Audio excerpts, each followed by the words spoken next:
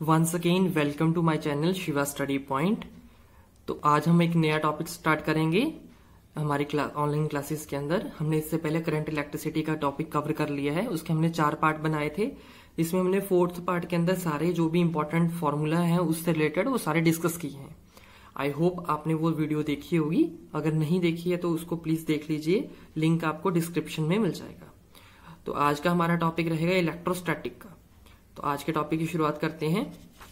आज हम न्यूमेरिकल देखेंगे इलेक्ट्रोस्टैटिक के ऊपर कुछ, ठीक है? तो हमारा पहला न्यूमेरिकल है the points P and Q are maintained at a potential of 10 volt and minus four volt respectively दो पॉइंट्स हैं पी और क्यू पी एंड क्यू को किसे मेंटेन किया गया किसी पोटेंशियल के ऊपर, जो 10 वोल्ट है और माइनस चार वोल्ट है।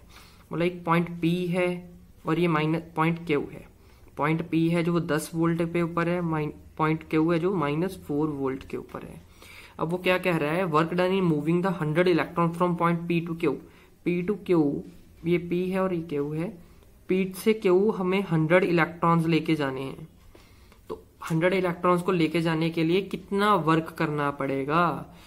ऑप्शन हमारे पास दिए हुए हैं। अगर आपको ये लगता है कि आप ये क्वेश्चन कर सकते हो, जो कि बहुत ही आसान है, आना चाहिए आपको तो आप इसको पॉज करके वीडियो को यहाँ पे सॉल्व कीजिए। नहीं तो मैं सॉल्यूशन करने जा रहा हूँ, आप उसको देखिए। अब देख, हमें पता है कि पोटेंशियल डिफरेंस का पोटेंशियल का जो डिफरेंस होता है V Q minus V P वो वर्क डन के बराबर होता है by charge work done by charge के बराबर होता है राइट तो यहाँ पे वी क्यू की वैल्यू क्या है? वो पुट कर देंगे वी पी की वैल्यू पुट कर देंगे। वी क्यू की वैल्यू माइनस चार है और वी पी की वैल्यू माइनस दस है। वी डब्ल्यू पी क्यू तो निकालना ही है राइट वर्गनन तो निकालना है। और जो हमारा चार्ज है, चार्ज कैसे निकालेंगे अब चार्ज कितना इलेक्ट्रॉन लेके जाने हैं? सौ। हंड्रेड इलेक्ट्रॉन लेके जाने हैं भाई। एक इलेक्ट्रॉन पे कितना चार्ज होता है? One point six into power minus nineteen coulomb और ये नेगेटिव होता है तो नेगेटिव अब इसको सॉल्व करेंगे तो डब्ल्यू पी क्यू कितना आ जाएगा? देखो ये भी नेगेटिव है। यहाँ से क्या बनेगा? Minus fourteen minus fourteen minus negative हो जाएगा। तो fourteen into ten raised one point six into ten raised power minus seventeen बन जाएगा राइट ये टेन रेस्ट पावर टू थी। इसके साथ मिल, इसके साथ मिलके क्या बन जाएगा? ये टेन रेस्ट पावर टू थी, इसके साथ मिलके इसका क्या बन जाएगा? टेन रेस्ट पावर सेवनटीन और यहाँ पे माइनस फोर्टीन आना था, और यहाँ पे आना था माइनस माइनस माइनस पॉजिटिव हो गया positive fourteen one point six ये रहा। तो इसको कैलकुलेट करेंगे तो क्या आंसर आएगा भाई? Two point twenty two point four into ten raise to power six seventeen minus seventeen joule आ जाएगा हमारे पास। लेकिन ऑप्शन के अंदर हम देखें तो सेवनटीन वाला ये रहा और ये रहा।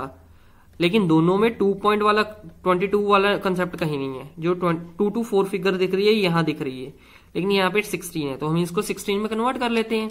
सिक्सटीन में कन्वर्ट करेंगे तो क्या बन जाएगा? Two point two four ten raised power minus sixteen joule ठीक है? सिक्सटीन जाउल राइट तो ये कौन सा ऑप्शन ठीक हो जाएगा? सिक्स ऑप्शन ठीक हो जाएगा।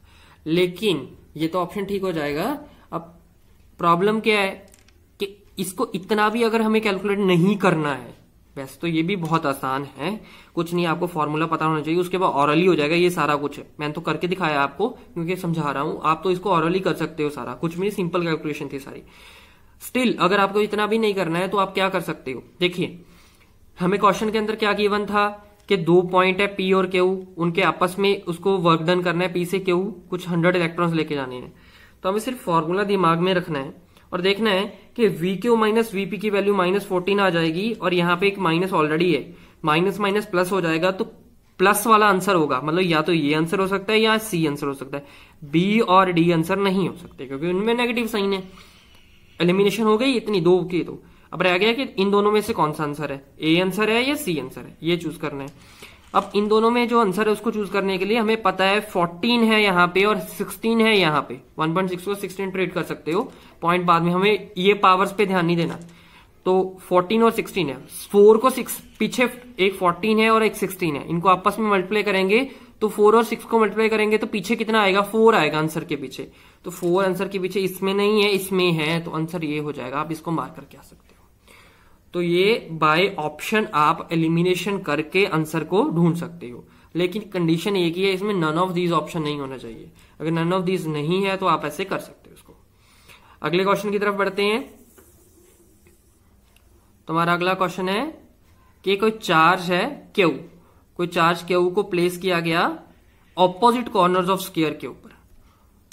A charge Q is placed at each of the opposite corners of a square a charge small Q is placed at each of the other two corners of the square if the net electric force on Q is capital Q is zero then Q by Q is equal to तो Q by Q कितने के बराबर होगा? पहले तो हम इसको देख लेते हैं कि है क्या सिचुएशन हम इसको डायग्रामेटिकली ड्रॉ कर लेते हैं. एक स्क्वायर है हमारे पास. स्क्वायर के ऊपर यहाँ पे हमने कैपिटल क्यू लिया तो ऑपोजिट पे कैपिटल क्यू लेना है. यहाँ पे स्मॉल क्यू लिया तो यहाँ पे भी स्मॉल क्यू लेना है. ठीक है? राइट इतनी बात क्लियर हो गई मैं। अब वो क्या कह रहा है कि जो कैपिटल क्यू है, उसके ऊपर ज़ीरो नेट चार्ज है। नेट इलेक्ट्रिकल फोर्स कितनी है, उसके ऊपर ज़ीरो है। तो हमें इसके ऊपर नेट इलेक्ट्रिक फोर्स कितनी बनानी है? ज़ीरो बनानी है। तो हमें पता है कि सेम चार्जेस क्या करते हैं? रिपेल करते हैं। ऑपोजिट चार्जेस क्या करते हैं? अट्रैक्ट करते हैं। तो एक बात तो क्लियर है कि ये क्या है, ये भी क्या है तो चार्ज क्या होगा इसके? सेम हो गया। अगर चार्ज सेम हो गया तो ये क्या करेंगे? रिपेल करेंगे। तो इसके ऊपर जो फोर्स रहेगी, इसके कारण वो क्या रहेगी?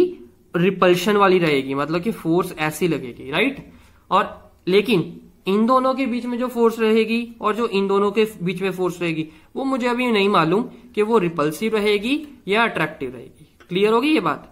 इन दोनों के बीच में तो फोर्स 100 परसेंट रिपल्सिव रहेगी रिपल करेगा उसको एफ़ हमने वो फोर्स मान ली जिसके साथ वो रिपेल कर रहे हैं। लेकिन इन दोनों के बीच और इन दोनों के बीच का फोर्स का पता नहीं कि रिपल्सिव है, पता नहीं अट्रैक्टिव है। मैं इसको ऐसे लेके चल रहा हूँ अभी। अभी अगर हमें यहाँ पे ज़ीरो बनाना है नेट फोर्स तो अगर ये एफ़ फोर्स इधर लग रही है, इसके बराबर बिल्कुल फोर्स एक इधर लगनी चाहिए। जिसका मैग्नीट्यूड बराबर हो, लेकिन डायरेक्शन इससे ऑपोजिट हो गई। जिससे क्या होगा, यहाँ पे जो नेट फोर्स है वो ज़ीरो हो जाएगी। अगर इस क्यू और इस क्यू के बीच में फोर्स है जो अट्रैक्टिव है और इन दोनों के बीच में अट्रैक्टिव होगी फिर तो इन दोनों के कारण जो अट्रैक्टिव और अगर इन दोनों के बीच रिपल्सिव है और इन दोनों के बीच भी रिपल्सिव होगी क्योंकि चार्ज सेम हो रहे हैं। सपोज़ इन दोनों के बीच जो फोर्स है वो रिपल्सिव है। तो रिपल्सिव फोर्स इधर लगेगी इन दोनों के कारण क्या लग, किस तरफ़ लगेगी? इधर। और इन दोनों के कारण किधर लगेगी? इधर लगेगी। इस पॉइंट के ऊपर। तो इन दोनों की जो रिजल्टेंट फोर्स है, वो इस तरफ़ ही आ जाएगी। तो नेट फोर्स ज़ीरो नहीं होगी। उल्टा इंक्रीज हो जाएगी। हमें तो डिक्रीज करनी है ज़ीरो करनी है। तो इसलिए हम इन दोनों की फोर्स को क्या सपोज़ करेंगे? अट्रैक्टिव सपोज़ करेंगे। तो अट्रैक्टिव सपोज़ करेंगे तो ये इधर लग जाएगी। इसको हमने एफ़ डैश मान लिया जो इन दोनों के बीच में। अगर इन दोनों के बीच में एफ़ डैश है तो इन दोनों के बीच में भी क्या रहेगी? एफ़ डैश रहेगी। और ये अट्रैक्टिव इधर लगेगी। तो ये रिजल्टेंट फोर्स हमें कुछ ऐसे मिल जाएगी इधर राइट तो रिजल्टेंट फोर्स है जो इससे हो गया तो हमने इसको आर बोल दिया। इन दोनों का रिजल्टेंट फोर्स है। वेक्टर लॉ ऑफ़ एडिशन से मिलेगी हमें ये राइट तो जो ये फोर्स है और ये फोर्स है, ये इक्वल भी होगी और ऑपोजिट डायरेक्शन में भी है। तभी इस पे क्या होना चाहिए? होगी ज़ीरो मतलब आर ये आर प्लस एफ़ इसकी वैल्यू क्या होगी? ज़ीरो होगी। राइट मतलब R is equal to negative of F होगी। राइट इतनी बात क्लियर होगी? अब आर की वैल्यू क्या होगी भाई? आर क्या है? In terms of F dash क्या निकलेगी? Under root of under root of two F dash अब ये मैं बताऊँ आपको कैसे निकली under root of two F dash अब देखिए, यहाँ पे पाइथागोरस लगाइए आप ये 90 डिग्री हो गया, ये पाइथागोरस लगाओगे आप। ये एफ़ डैश है इसके बराबर ही ये होगा ये भी एफ़ डैश होगा ये एफ़ डैश है एफ़ डैश है ये हाइपरन्यूज है ये परपेंडिकुलर बेस कुछ भी मान लो ये परपेंडिकुलर बेस हो जाएगा तो एफ़ डैश का स्केयर प्लस एफ़ डैश का square is equal to F dash का स्केयर प्लस एफ़ डैश का स्केयर आप इसको देखिए F dash square plus F dash का square is equal to R square तो यहाँ पे two F dash square is equal to R square और आर की वैल्यू क्या आ जाएगी under root of two F dash I think यहाँ तक क्लियर होगी बात। अब आर की वैल्यू मैंने पुट कर दी अंडर टू एफ़ डैश लेकिन एफ़ तो अभी हम इसको एज सच रख लेते हैं। अब आप देखिए फोर्स क्या होता है? Force is equal to constant जिसको one by four pi epsilon naught भी बोलते हैं हम Q one Q two by R square अगर हम ए इस दोनों के बीच का डिस्टेंस है, जो इन दोनों के बीच का जो डिस्टेंस है, उसको हम मान लें एक्स क्या मान लें? एक्स मान लें हम। ठीक है? अगर हम इन दोनों के बीच के डिस्टेंस को एक्स सपोज़ कर लें तो ये स्क्वायर है। स्क्वायर की सारी साइड्स क्या होती हैं? इक्वल होती हैं। तो सबके बीच में डिस्टेंस क्या रहेगा? एक्स रहेगा। अगर हमें एफ़ डैश निकालनी है तो एफ़ डैश इधर से निकालो या इधर से निकालो, एक ही बात है। तो ये तो अंडर टू तो ऐसे ही रहेगा। इंटू एफ़ डैश है। एफ़ डैश का एफ़ का फॉर्मूला क्या है? के क्यू वन क्यू वन यहाँ पे क्या है? Q Q two Q two क्या है? Q small Q by R square. Distance कितना है? X. X square. Is equal to negative ये रह ही रहा। एफ़ का फॉर्मूला क्या है? के। अब यहाँ पे क्यू? अब इन इन दोनों के बीच में देखिए, एफ़ एफ़ किसके बीच लग रही है? इन दोनों के बीच लग रही है। तो क्यू वन क्या है? क्यू है। कैपिटल क्यू है। और क्यू टू क्या है? वो भी कैपिटल क्यू है। R square. अब ये वाला डिस्टेंस है जो ये वाला डिस्टेंस। ये भी एक्स है और ये भी तो एक्स होगा। ये भी तो एक्स होगा।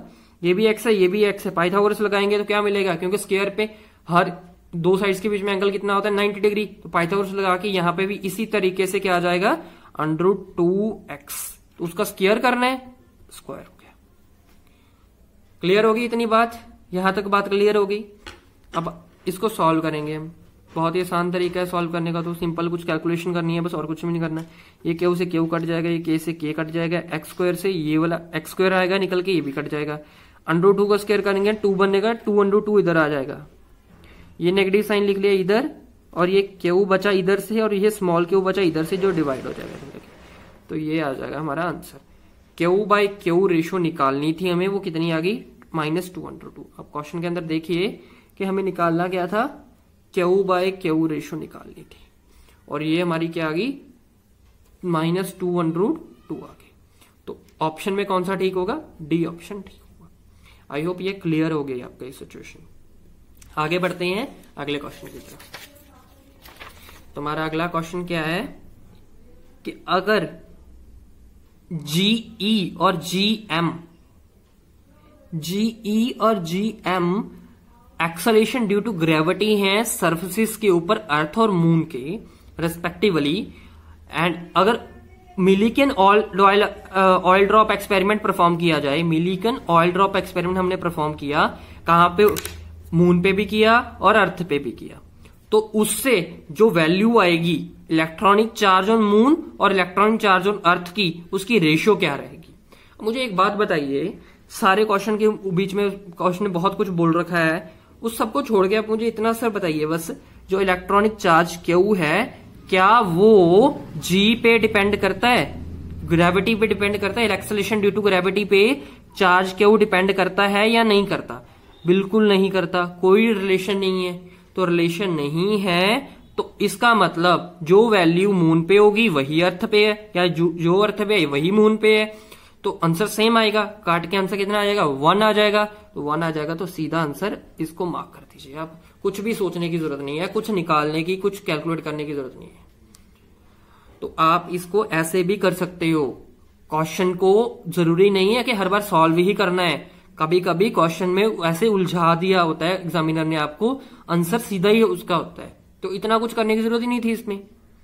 आगे बढ़ते हैं, अगले क्वेश्चन की तरफ़। अगला क्वेश्चन देखिए आप work done in placing the charge of eight into ten raise to minus eighteen coulomb on a condenser of capacity hundred microfarad hundred microfarad की अगर कैपेसिटी है कंडेंसर की तो उसमें चार्ज है जो इतना किया गया है, उसको वर्क कितना किया गया होगा?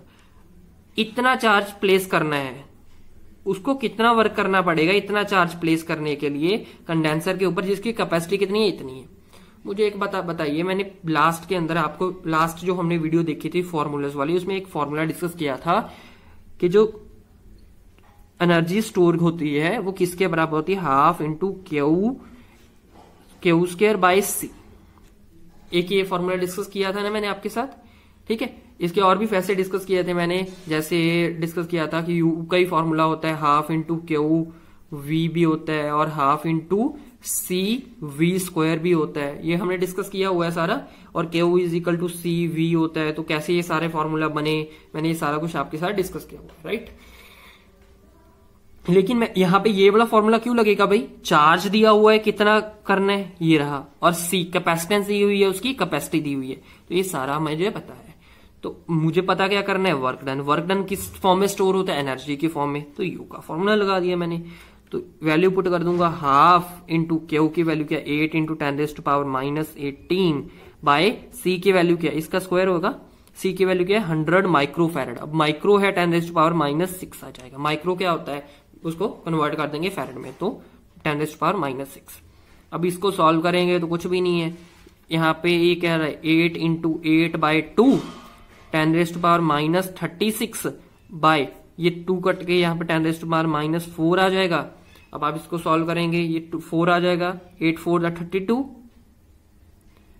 into ten raised power ऊपर जाके ten raised power minus thirty two बन जाएगा। तो ऑप्शन डी क्या हो जाएगा आपका? करेक्ट ऑप्शन हो जाएगा। ठीक है? ये ऊपर जाके थर्टी टू बन जाएगा, ये आ जाएगा और ये डी ऑप्शन आपका करेक्ट ऑप्शन बन जाएगा। क्लियर अब ये चार क्वेश्चन हमने यहाँ पे सॉल्व कर लिए। अब एक क्वेश्चन हर बार की तरह आपको होमवर्क में मिलेगा तो वो क्वेश्चन देखिए ध्यान से, आपको ये सॉल्व करना है। अगर ये सॉल्व नहीं भी हुआ तो भी कोई बात नहीं, हम कल इसको सॉल्व करेंगे फिर। A thin spherical shell of radius R कोई शेल है जिसका रेडियस आर है हैज़ अ चार्ज क्यू उसके ऊपर चार्ज क्यू स्प्रेड किया हुआ है यूनिफॉर्मली और सरफेस के ऊपर उसको चार्ज को स्प्रेड किया हुआ है uniformly which graph represent the electric field produced by shell जो शेल है, वो कुछ इलेक्ट्रिक फ़ील्ड प्रोड्यूस करेगा। तो कौन सा ग्राफ है जो उसके इलेक्ट्रिक फ़ील्ड को रिप्रेजेंट कर रहा है? किस रेंज के अंदर? ज़ीरो टू इन्फिनिटी अब ज़ीरो क्या हो जाएगा? सेंटर और इन्फिनिटी मतलब इन्फाइनाइट तक। और आर है क्या? डिस्टेंस फ्रॉम द सेंटर तो ज़ीरो मतलब सेंटर पे ही। और इन्फाइनाइट मतलब सेंटर से बहुत दूर। तो उन, इन चारों में से कौन सा ग्राफ इसको रिप्रेजेंट कर रहा है? अब ध्यान से देख लीजिए इन चारों ग्राफ्स को। एक ये रहा, एक ये है और ये और ये। अब इसको स्क्रीनशॉट ले लीजिए इस क्वेश्चन का सो so दैट आप इसको अच्छे से सॉल्व कर पाऊँ। और मुझे कमेंट करके आप आंसर बता सकते हैं अगर आपको सॉल्व हो। नहीं तो कल हम इसको डिस्कस करेंगे कि इसका आंसर क्या हो सकता है। Thank you so much for watching the video please like the video and share the video with your friends and also hit the bell icon and subscribe the button if you have not subscribed the channel yet. Thank you so much.